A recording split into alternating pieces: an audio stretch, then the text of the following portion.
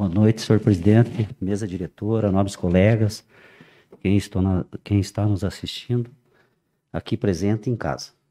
O que eu venho relatar hoje aqui é a respeito do STAR, Zona Azul. Certo? Então, o que, que acontece? Saiu uma publicação no jornal onde o STAR ia para 30 minutos 1 e 20, 60 minutos 2 e 40, período de 90 minutos 3,60, 120 minutos 4,80. Pois bem, analisando o contrato da empresa do dia 5 de 11 de 2016, então o contrato tá, ele foi feito para cinco anos, esse contrato do Star. E dentro desse período houve umas adequações aqui, certo? Então veio os 10 minutos, que foi uma lei de 3 de, de 10 de 2017, certo? Depois foi instituído o aumento no horário no sábado, também por um outro contrato, que tem uma cláusula ali, que aumentou os horários no sábado, certo? Dia 26 de 10 de 2017, o aviso de irregularidade que, que era constatado também passou para a empresa, certo? Então vocês vejam as benefícios que teve, certo? Em 2018, certo, foi feita uma plataforma de readequação tal.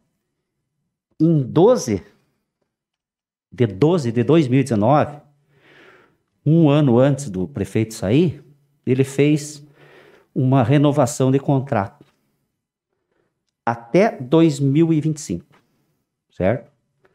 E nessa renovação de contrato, diz o seguinte: adequação de preço de tarifa cumulativo com correção monetária, que seria 2016, 2017, 2018, 2019.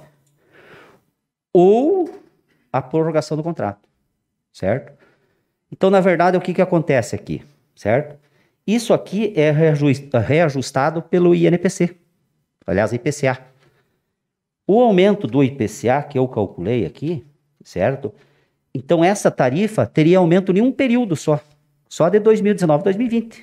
20 e 21 seria só em dezembro de 2021, aonde venceria o contrato, certo? Então, como o contrato foi renovado, que eu acho que é um absurdo, deveria deixar para o novo prefeito, certo? A renovação desse contrato, que foi até 2025, a renovação desse contrato, certo? Então, o que, que acontece?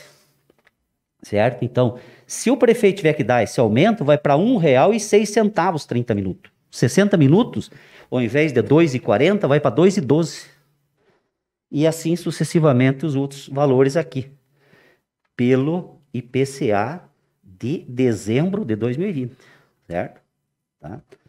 Então, eu acho que é muito louvável ao prefeito Bashir na revogação desse decreto porque eu acho que em ano de pandemia, um aumento de 20% no STAR, os munícipes aí é, é brincadeira, né? Quanto que subiu o salário mínimo? E a empresa já teve esse benefício aqui, em 2019. Ela já optou pela renovação do contrato, certo? Então não tem direito a aumento, certo? Então, é louvável ao, prefeito pela revogação desse contrato, certo?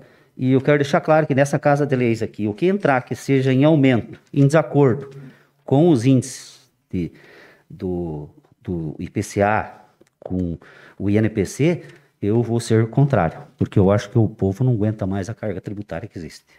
Muito obrigado.